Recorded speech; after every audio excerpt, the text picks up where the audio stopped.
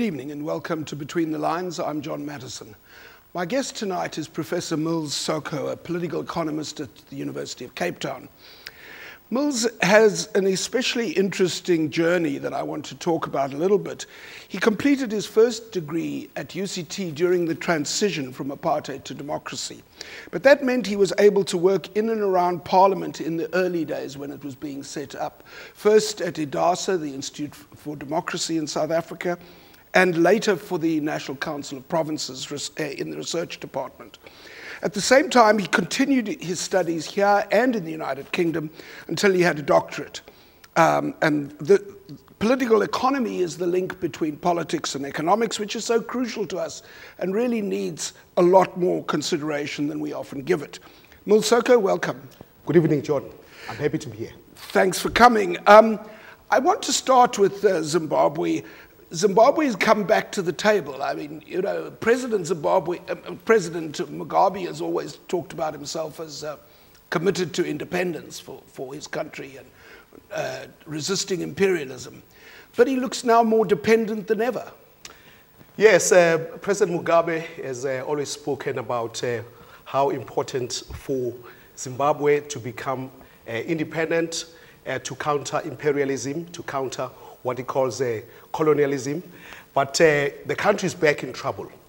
And the latest wave of the troubles that Zimbabwe is facing has to do with external and domestic factors. The external factors uh, relate to issues that uh, have to do with the global economy, the slump in the global economy. Zimbabwe has uh, experienced a decline uh, in its demand for its gold and platinum exports uh, as a result of the slowdown in China and also the strong US uh, uh, dollar, which the country uses as its uh, currency. There's also a problem that has to do with deindustrialization in the country, the hollowing of the manufacturing sector. Isn't that a response to a, a consequence of the uh, the uh, ending of commercial agriculture and the and the land invasions? It's partly that, John. It's partly that, um, and also you know the uh, the agricultural sector, as you know, is the mainstay of the economy right. of Zimbabwe. And as a result of its dreadful export performance, the country has been suffering. And that has not been helped by the, uh, the problem of drought and the power shortages this country has been experiencing.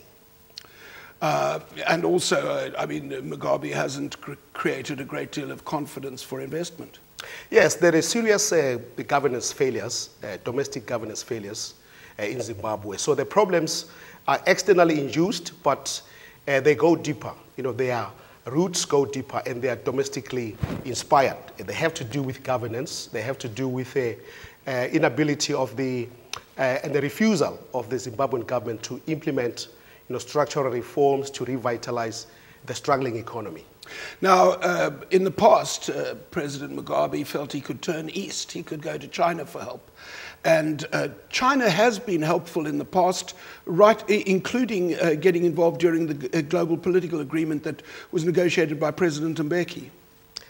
Well, you know, the, the problems, the troubles that Zimbabwe is experiencing currently uh, represent a stunning repudiation of the country's Look East policy. This is a policy which was announced amid fanfare by President Mugabe in 2003 which was designed to counter the sanctions that were being uh, considered by Western countries and to also build greater cooperation between Zimbabwe and Eastern countries, including China, Malaysia, Singapore, and the United Arab Emirates. And to a large extent, you know, it worked in favor of uh, China because it enabled China to strengthen its uh, footprint, economic footprint, uh, in Zimbabwe. And China also helped in terms of extending loans, a series of loans to uh, Zimbabwe, preferential and concessionary loans. But uh, China has become tired of having to bail out you know, Zimbabwe out of its troubles. So now uh, Mugabe has gone to China and China have refused?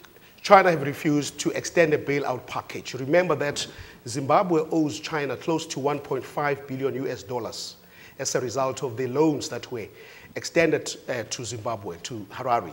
And it can't pay it back? Well, uh, Zimbabwe has defaulted on several of those loans, and China has made it very clear that it would not extend a rescue package or provide budgetary support until those have been uh, repaid. And is that because there's no, they don't see how they're going to get the money back? Of course, uh, Zimbabwe, as you know, is bankrupt. Uh, it has run out of cash, and uh, China, you know, is uh, very clear on this that uh, you know Zimbabwe has to find its way uh, of, of extracting itself out of the, the current economic morass, and that is the case at the moment. And the other interesting thing is to start with. Uh, China was the preferred partner to the West because it didn't make political demands and set political conditions. But Chi China has now started to set political conditions. Of course, uh, the relationship be between China and the Zimbabwe, you know, dates back historically. China supported liberation. liberation, supported the liberation uh, struggle right. uh, in Zimbabwe. And China played a very important part uh, in, the, in recent years in terms of supporting um, the development of the global political agreement, working very closely with South Africa and other Southern African uh, countries.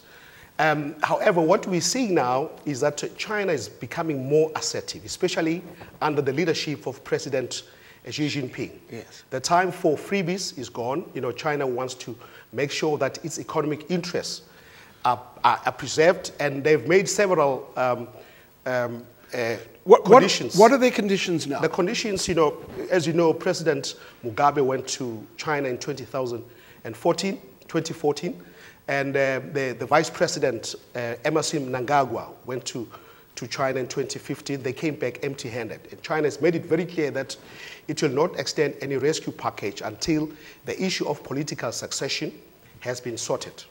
That is the first issue. There is also the issue of party renewal, ZANU-PF renewal. China has made it clear that they need to renew the party, need to revitalize the party. There's the issue of corruption, especially uh, insofar as state-owned enterprises are concerned. And then there is the issue of uh, domestic reforms, uh, reforming the economy, and uh, specifically the issue of the high public sector wage bill, which um, accounts for 80% of the national budget in Zimbabwe. We're going to have to take a break. We'll be back in a moment with Professor Mills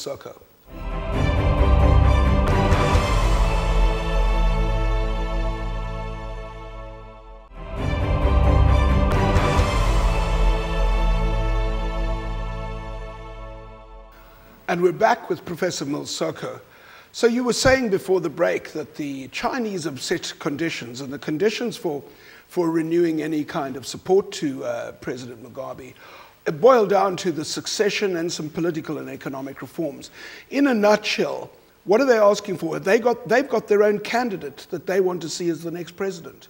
Well, it is widely believed that the Chinese prefer uh, to have uh, the current vice president, Emmerson Mnangagwa, as the successor to President Mugabe.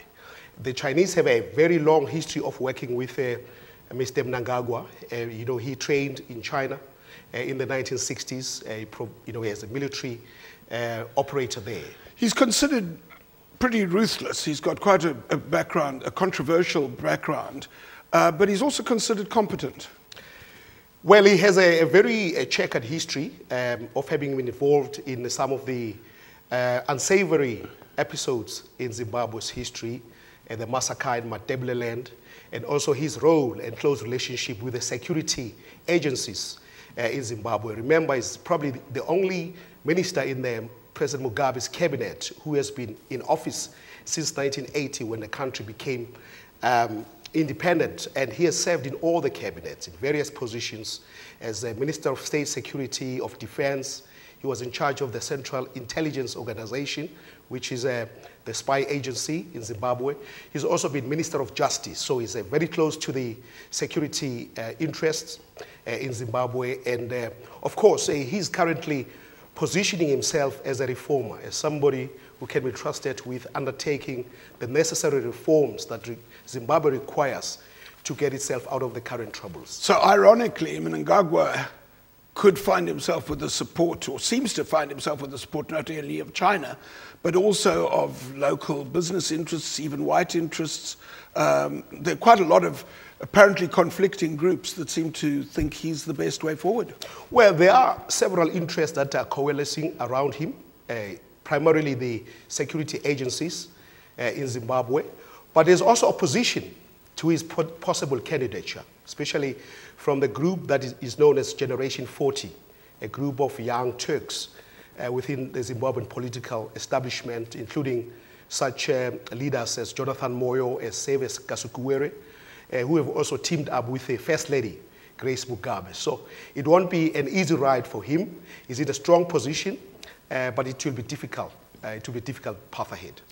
So Mugabe can't get his money from China, but I've seen for several weeks now they've had trouble paying, paying their own soldiers, which is the one thing Mugabe always tried to do, no matter how bad things got in the country. He's got, now gone to the International Monetary Fund and to the West. Of course, um, you know, that represents a very important realization that the Look East policy that President Mugabe adopted in 2003 has failed because it was designed specifically to counter Western influence, to counter Western pressure. Now it's gone back to Western international financial institutions.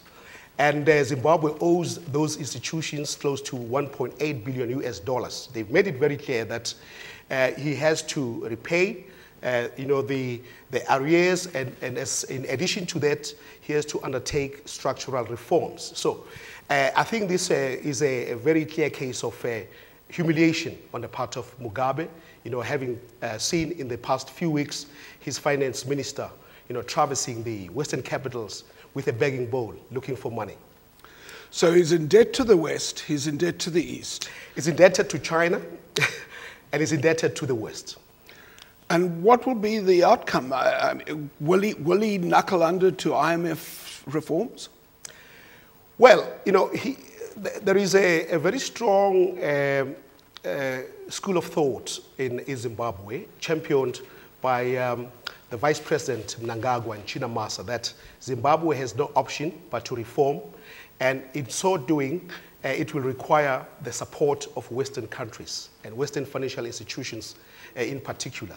Uh, but there are some uh, within the political establishment who are really wary of that. They're skeptical of that. They're skeptical of uh, Western institutions uh, having a stranglehold over the Zimbabwean political economy. So there is an internal struggle within the ZANU-PF as to what the direction should be. And uh, President Mugabe is seen as one of the important barriers to meaningful reform, structural reform in Zimbabwe. So as long as he's there, it will be difficult for the so-called reformers to undertake the kind of programs that they want to, to undertake. Remember, John, there is a, a, an economic blueprint which the Zimbabwean government adopted. It's called Zim Asset, which was essentially designed to revitalize the economy, but it has failed completely because due to lack of funding. So this is a very serious challenge that the, the leadership uh, in Zimbabwe faces, especially the so-called reformers. In the uh, uh, 90 seconds before the break, where, where is South Africa in all of this? Because in the President Mbeki era, we did provide some loans. Are we available to give loans now under President Zuma and uh, Minister uh, Pravin Gordhan? John, um, South Africa, you know, is a, has a very important role to play uh, in Zimbabwe, given that Zimbabwe is our largest trade partner in Africa. In Africa. It's a very important regional uh, state, especially in terms of security uh, in the SADC region. Uh, we are host to millions of Zimbabweans uh, here who are migrants in this country.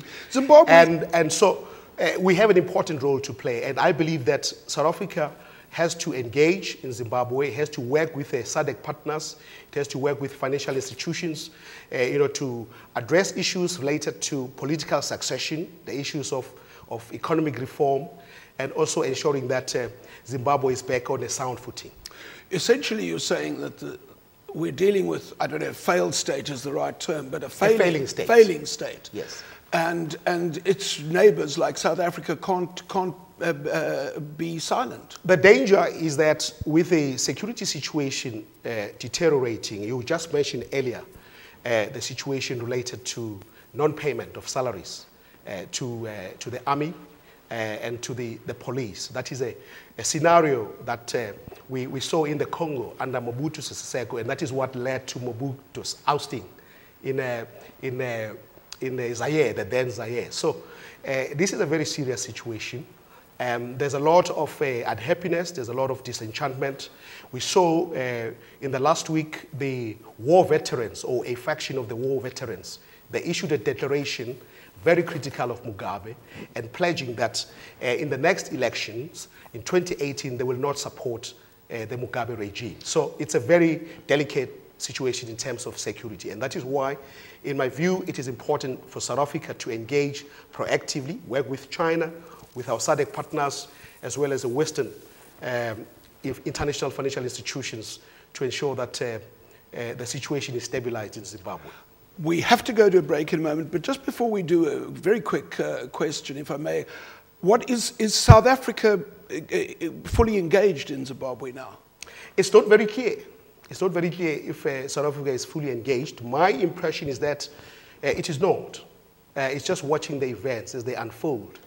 Um, and so I would like to see a more directed, you know, tailored engagement on behalf of Pretoria, you know, in, in, in Harare. We're going to have to take another break. When we come back, we're going to carry on talking to Professor Mills Soko, and we're going to look at South Africa and China as well.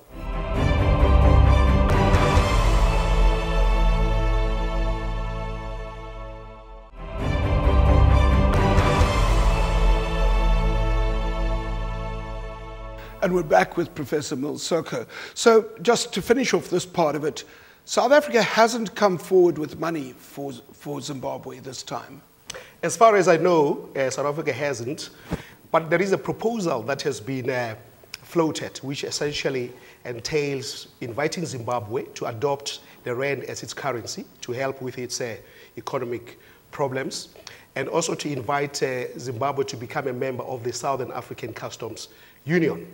Uh, it's not very clear if uh, President Mugabe would, you know, given that he's a very proud man, would allow uh, Zimbabwe to, you know, to adopt our currency as is, its is, national currency. Is that, in a sense, South Africa setting conditions? Well, um, South Africa, you know, previously Mugabe, President Mugabe has approached, uh, uh, during the, the Mbeki era, has approached the South African government you know, requesting aid, and South Africa rebuffed him. You know, they, they promised to pro provide him with one billion US dollars, and uh, he was not pleased with that, and uh, so South Africa rebuffed him.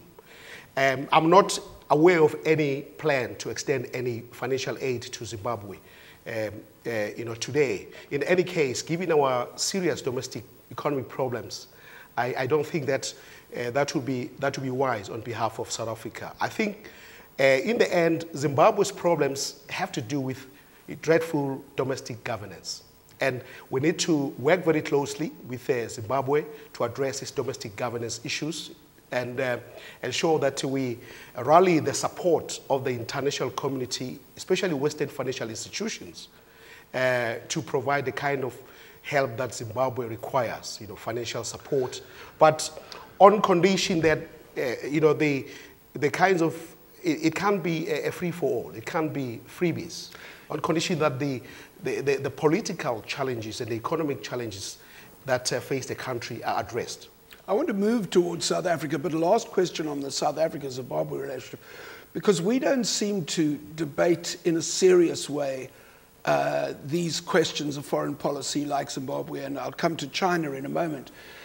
Do we not have to face a look at whether we got it right in the first place.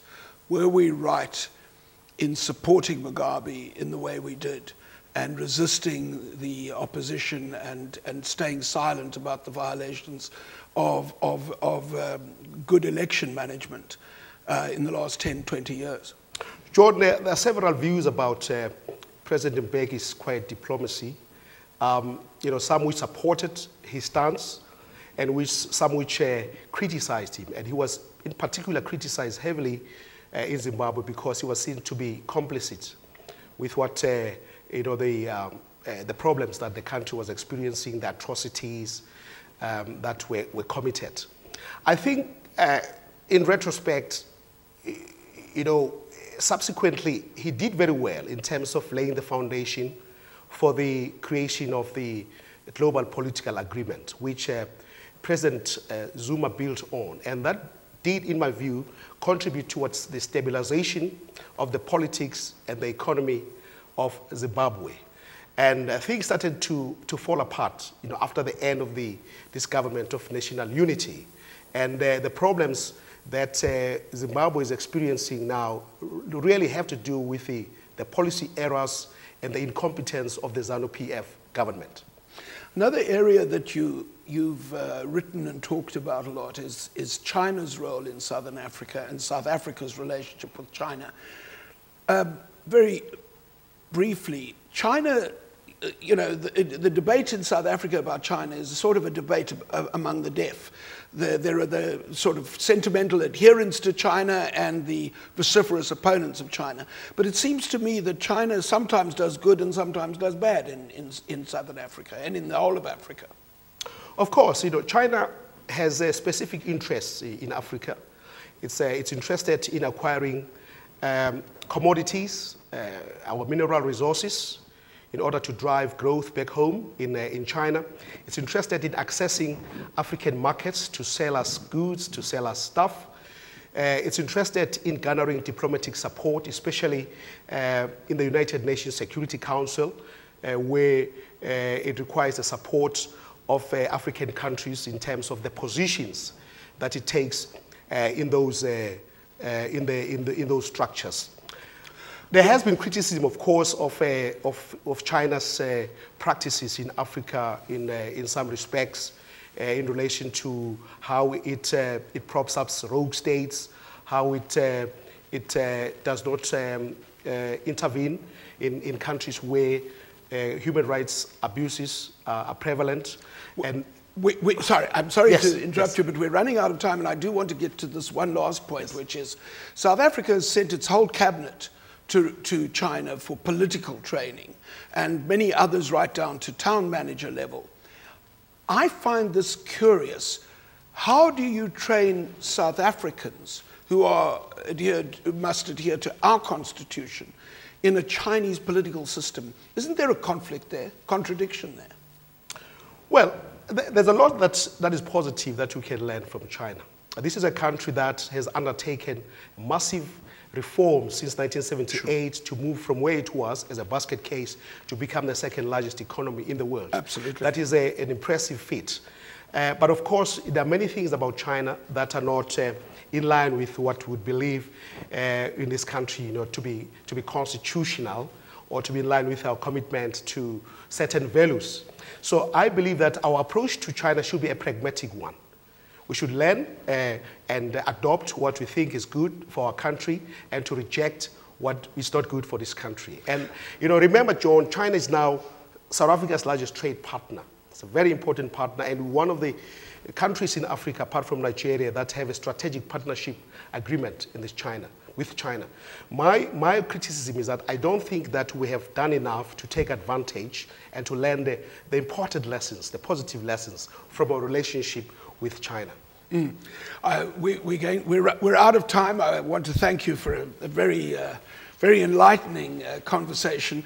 Uh, before we leave, we, we, I, am going to recommend the book this week uh, is called uh, Mmusi Maimane, Prophet or Puppet.